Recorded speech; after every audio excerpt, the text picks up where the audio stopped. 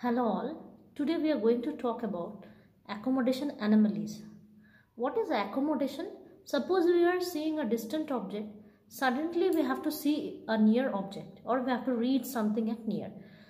So there is a phenomena called accommodation by which our lens, crystalline lens bulges out okay and there are actions of ciliary muscles so that we can see the object near okay so if we have do not have a proper accommodation right so we cannot read the objects at near. So that is a main problem. So with age we lose our accommodation uh, capability of accommodation right? So there are some accommodation anomalies which, which we need to look into okay? So first is the accommodation insufficiency. So how do you get that accommodation insufficiency. In accommodation insufficiency the objects becomes blurry right? So what happens? We in RAF ruler the near point of accommodation is receded. The amplitude of accommodation is low as age related if we compare that it is much lower than the that age. Also while doing an orthoptic evaluation we find that we get a higher lag of accommodation in MEM retinoscopy right? So we can get a plus 1 or a plus 125 while doing the MEM and also the PRA will be low. Why? Because we are stimulating the accommodation in the positive relative accommodation test. So the PRA will be also low. So if it, it will be maybe you will get a minus 1.5 or a minus 2 or something around that. So the PRA value will be low, the NRA will not be affected. So these are the clinical signs of accommodative insufficiency. So you can find it out very easily. Second is your accommodative infacility. So what happens in accommodative infacility while doing the flippers test that is a uh, we if we do a flippers test along with the Word-Rock card, we feel the patient cannot either clear either the plus lens or the minus lens of the flippers. So that is the accommodative infacility we can get, right? So third is the ill sustained accommodation. So in ill sustained accommodation, what is happening?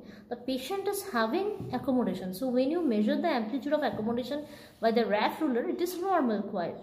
But if you do repeated measures of amplitude of accommodation, you find a lower value in each attempt.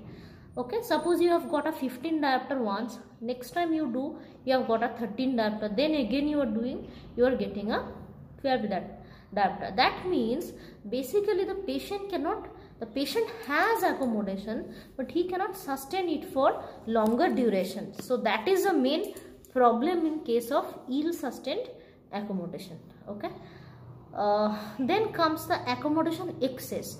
So in accommodation excess what happens? There is excessive amount of accommodation. So you get an amplitude of higher amplitude of accommodation. Suppose requirement is 10 diopter of accommodation you get a 12 diopter or 13 diopter of accommodation. Also your npa is also uh, very less. That means npa is uh, like suppose 10 centimeter you require you get a 8 centimeter NPA okay so that is the thing. In MEM retinoscopy MEM retinoscopy you get a lead of accommodation.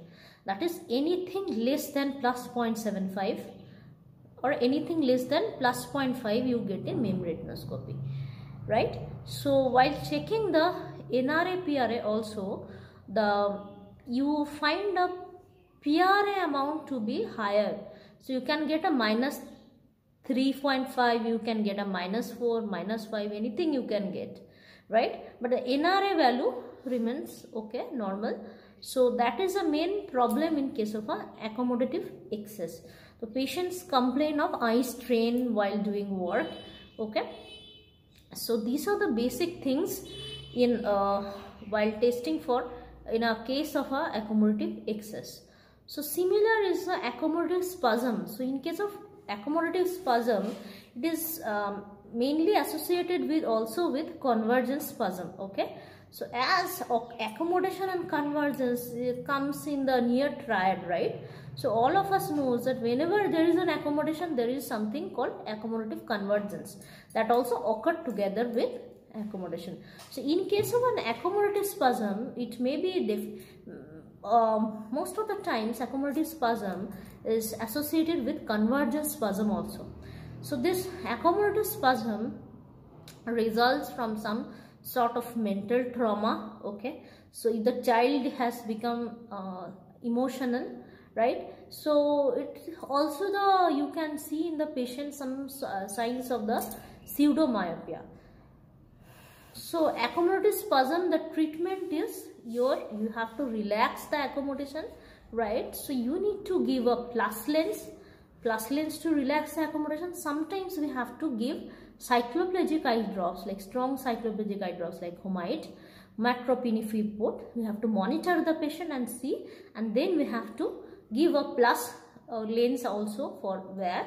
And also we have to give the cycloplegic eye drops. And then recall the patient in a week's time and we have to monitor if the accommodation is getting relaxed or not okay? So these are the problems in accommodation exactly the anomalies of accommodation. So basically if there is an, an accommodative insufficiency we give an exercise of the Hart chart exercise we give right? Hart chart exercise we give. And if there is an accommodative infacility we give the flippers exercise with the Word Rock cut. Thank you